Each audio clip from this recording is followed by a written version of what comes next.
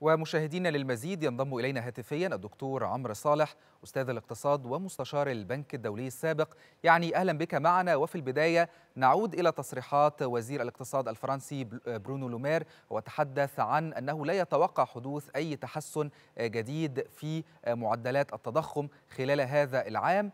ماذا تعني هذه التصريحات؟ وما تأثيرات استمرار ارتفاع التضخم؟ الحقيقة هي تصريحات برونو لومير بتهيئ الراي العام الفرنسي والراي العام الأوروبي إن في مستويات أخرى من التضخم من الكساد هتعيشها أوروبا. وطبعا نتيجة أزمة أسعار الطاقة اللي أوروبا عارفين إنها قارة صناعية دول صناعيه بشكل كبير بتعتمد على إمدادات الغاز بالذات ألمانيا اللي كانت بتيجي من روسيا 40% بتيجي من روسيا. النهارده خلل في إمدادات الغاز خلل في إمدادات الطاقة. لازم يعمل خلل في الطاقة الإنتاجية وفي سلاسل التوريد. وبالذات إن إحنا بنتكلم على مصانع وعلى صناعات ثقيلة في أوروبا وبتشغل وظائف وتخلق جزء كبير من الناتج المحلي الأوروبي.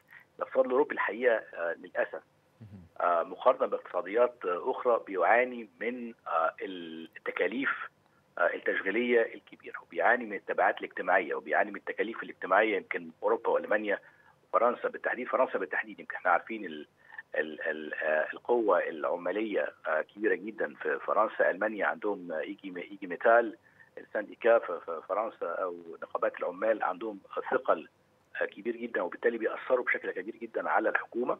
وعلى التصويت في الانتخابات ويمكن في انتخابات على الأبواب وبالتالي التصويت ضد الحكومة وضد الوزراء في أوروبا في الوقت الحالي خطر على كثير من الحكومات.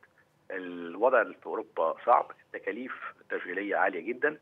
الشتاء جاي وإحنا يمكن شفنا أزمة المناخ والجفاف وارتفاع درجة الحرارة في أوروبا والحرائق في أوروبا صحيح. وجفاف النهار.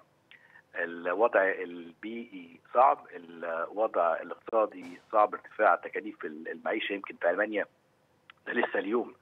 اليوم صدر انخفاض معدل الثقة في مؤشر مديري للشركات في في ألمانيا. معدل الثقة عمال يتراجع. 10% وده كان تصريح لوزير الاقتصاد الألماني إن 10% من الشركات الألمانية أو الإساميز قد تخرج من السوق ده رقم كبير جدا. شفنا التضخم في, في, في أمريكا اعلى تضخم في 40 سنة في بريطانيا نفس الحكاية.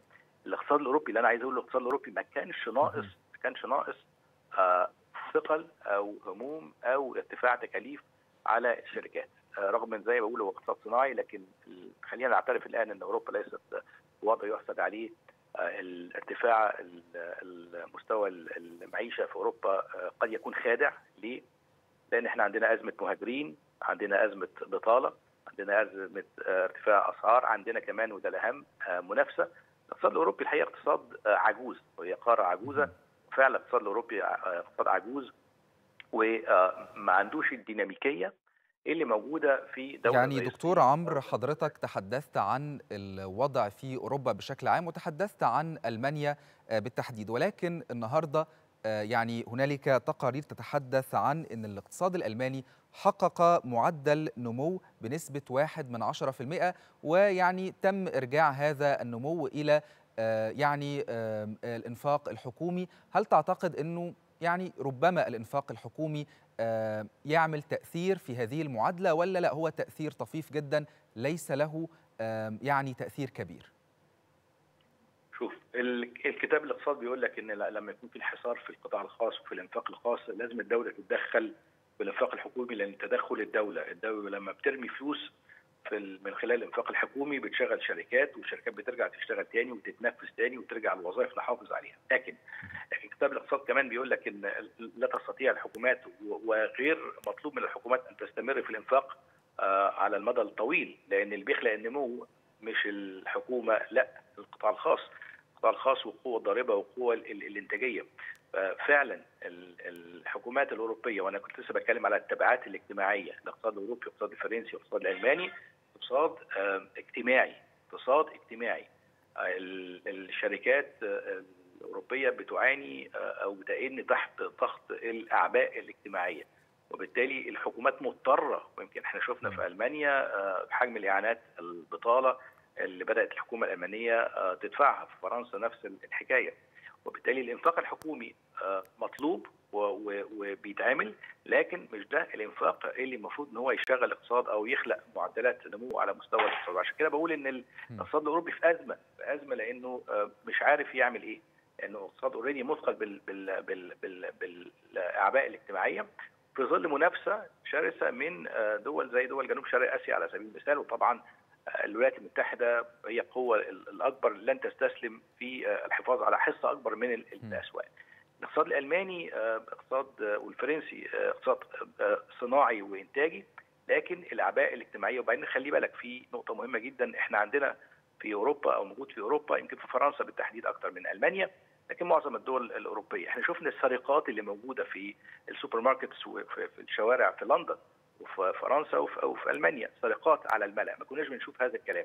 في قنبلة موجودة في قنبلة موجودة اجتماعية موجودة في أوروبا من خلال الأعداد المهمشين أو المهاجرين أو الفئات الأقل حظا في التوظف. وهذه القنبلة الموجودة اللي من فترة لأخرى بتعمل اضطرابات في الدول الأوروبية بالتحديد فرنسا بشكل بشكل كبير.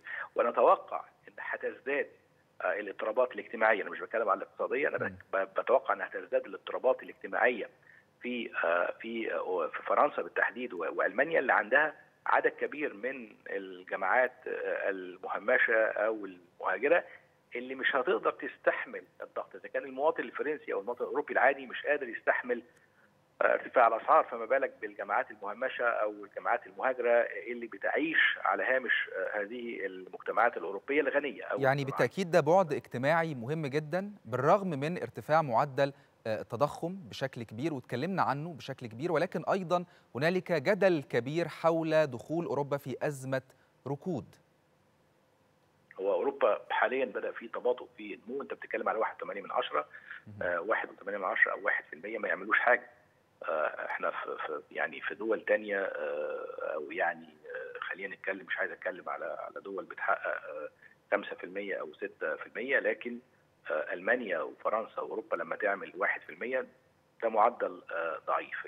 تفتكر معايا لو ترجع بالذاكرة لورا لما ألمانيا الغربية أنا برجع كتير يمكن بعض الشباب قد لا يتذكروا هذا الموضوع لكن لما ألمانيا الغربية استحوذت على ألمانيا الشرقية بعد سقوط حائط برلين. وكان ال criteria أو كان الشرط لدخول ألمانيا الموحدة في اتفاقية شنجن أو اتفاقية ماستريخت في الاتحاد الأوروبي إنها تحقق نسبة نمو 3% 3% ده كان شرط لكل دولة أوروبية إنها تدخل اتفاقية بروكسل وتنضم إلى دول الاتحاد الأوروبي. 3% النهارده إحنا بنتكلم على 1% ده عشان نديك indication أو نديك مؤشر على قد إيه الدول الأوروبية بعيدة بعيدة عن معدلات النمو الطبيعية اللي المفروض تحققها وبعدين كل أنت ما تنزل بالنمو وكل ما تنزل بالناتج المحلي كل ما يحصل لك خسائر مش بس خسائر اقتصادية الخسائر الاقتصاديه تعوض.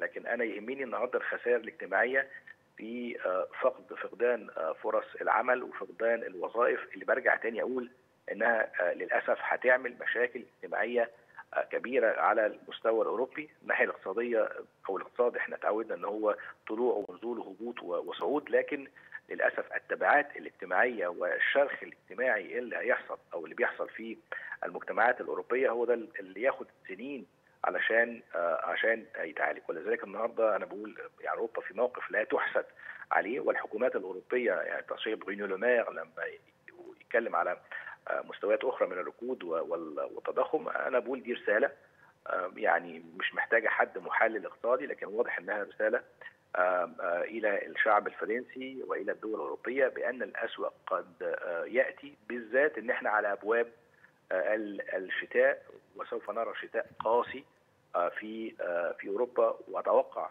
ستسوء الحالة الاقتصادية وستسوء يعني كل هذه النقاط صحيح دكتور عمرو كل هذه النقاط في غاية الأهمية. شكرا جزيلا لك على كل هذه المعلومات. الدكتور عمرو صالح أستاذ الاقتصاد ومستشار البنك الدولي السابق شكرا جزيلا لك.